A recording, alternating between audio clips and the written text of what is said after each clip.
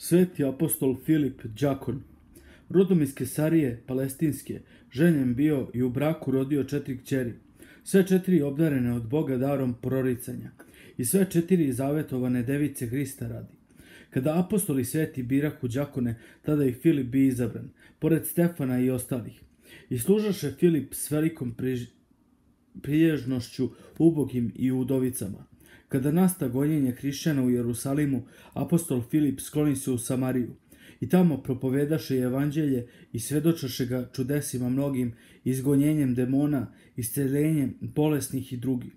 Videći čudesa svetih apostola, krsti se i čuveni Simon, Voh, krsti sveti Pilo, Filip i Evnuha carice Kandakije.